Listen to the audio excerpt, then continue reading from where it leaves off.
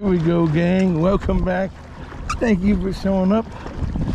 This is day two of the Dunedin Causeway Adventures. We get out to the fishing spot. I'll let you know what luck we have.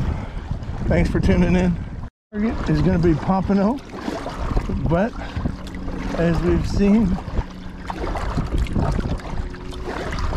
these jigs seem to catch a nice variety of species. Let's see what we get into. Trolling out, hooked up again. This time on the Pompano jig. Just tossing it out and bumping it. Thinking a ladyfish again. I got one jump so far. Oh, yep, just jumped free. But took my jig with it, so now I'm thinking Spanish. Already have to retie and haven't even gotten there. the Florida famous Thonny fishing from the bank where I was at yesterday. He's right in my spot. I got a little late start today and Thonny is there with his girlfriend. I forget what her name is. Oops, and I'm hooked up on the first cast. Nice start, nice start. First cast in the spot does not feel like, oh, no, it's a Spanish.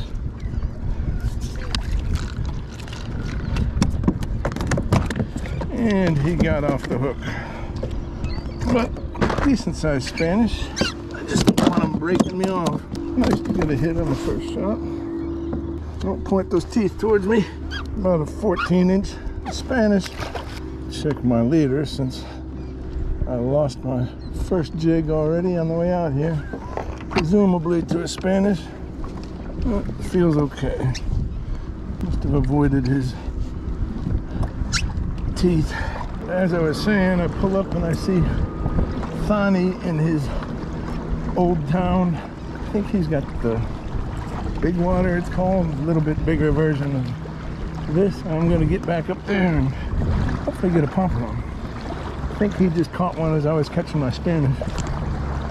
Cast number two, and my braid snapped right in the middle. I can't believe that. And I think I left my leader material in the truck. So I'm gonna be down to my secondary pole. Good start as far as mackerel bite. Bad start. And don't know what happened with my braid. There's a monster manatee right underneath me in this crystal clear water. There he is. Covered in barnacles. Just about noon. So lunars today say that should be the start of a major feeding time right about now, but it also coincides with basically high tide. So not much current movement. About an hour before our former President Trump surrenders himself due to his horrendous felonies, according to a New York grand jury. Oh, should be an interesting afternoon, whether or not I catch some fish. See what's going on with that. Maybe see what the actual charges are, but they seem to want to keep everything secret, which is kind of strange.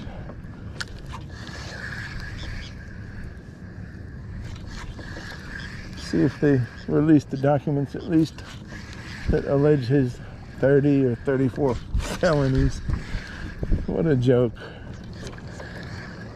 Especially in New York where they let violent felons off with misdemeanors. But they go back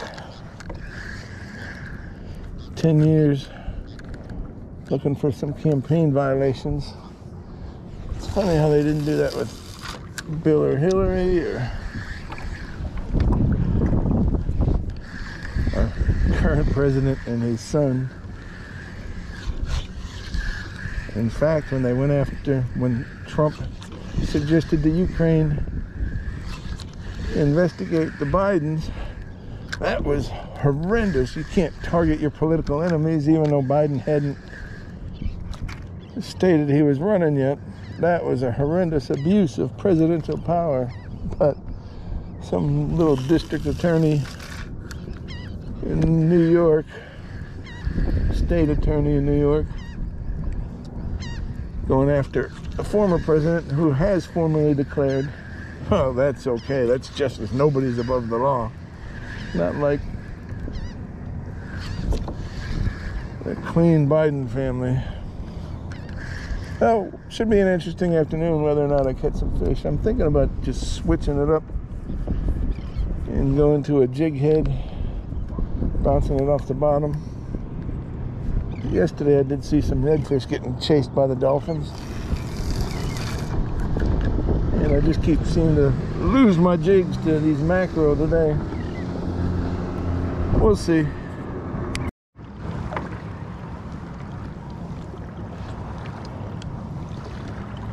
Next bait we're gonna try for the trip home. Take a slow trip home. Put on a little bucktail. A little soft plastic on the end of it. See if we can jig something up.